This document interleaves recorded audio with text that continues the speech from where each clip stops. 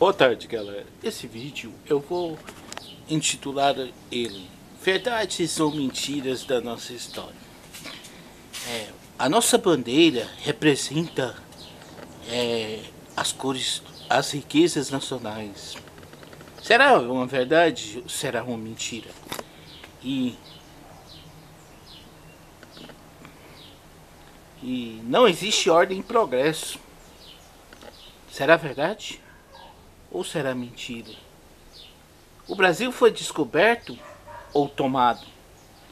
Será verdade ou mentira? É o primeiro. A nossa bandeira, a atual bandeira republicana, é baseada na bandeira imperial brasileira.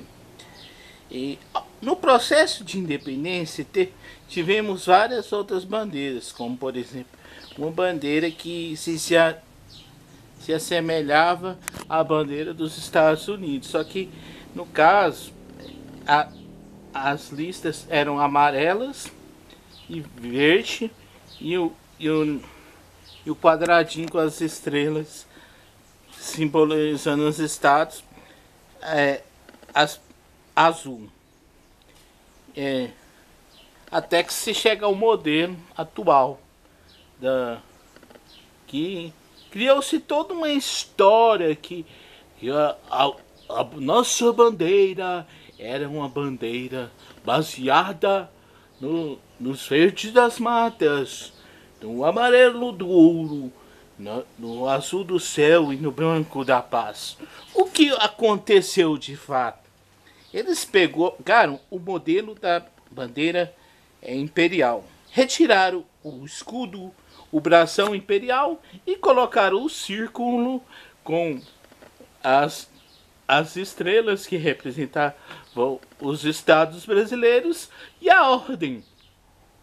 E o lema Ordem e Progresso, que é um lema é, do positivismo francês de Auguste Comte, que significava o seguinte: o Brasil tem que ter uma deveria ter uma ordem e o progresso deveria ser para essa ordem. A maioria da sociedade deveriam ser excluídos do progresso. É, portanto, que é, é essas, essa esquema que eu fiz em vários vídeos falando, né? É, por isso, o lema da ordem progresso, né? Que sim, existe uma ordem, existe um progresso, de uma minoria, mas existe. E com relação, o Brasil foi descoberto ou tomado? As duas perguntas estão corretas, é, condizem com a verdade. Por quê? Essa terra não era chamada de Brasil pelos nativos que aqui viviam. Portanto, o Brasil, enquanto instituição política é uma invenção lusitana. Mas enquanto o território é uma conquista lusitana. E todos sabemos de que forma ocorreram, né?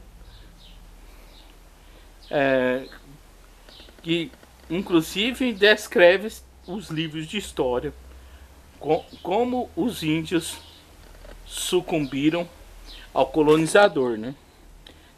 De, usando de quais artifícios? Portanto, as duas teorias estão corretas. É, por isso que eu digo, galera, que é importante estudar história, ainda que nossa história é manipulada, para que o povo tenha direito de saber o porquê da manipulação, né?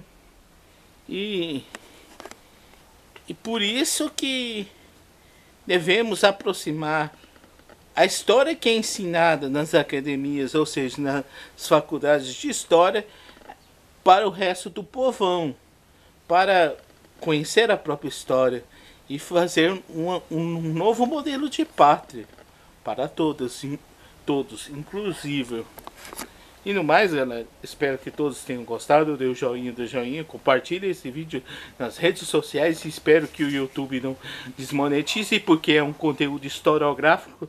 Não é possível que eles vão achar que conteúdo historiográfico é, é, conta a família, né?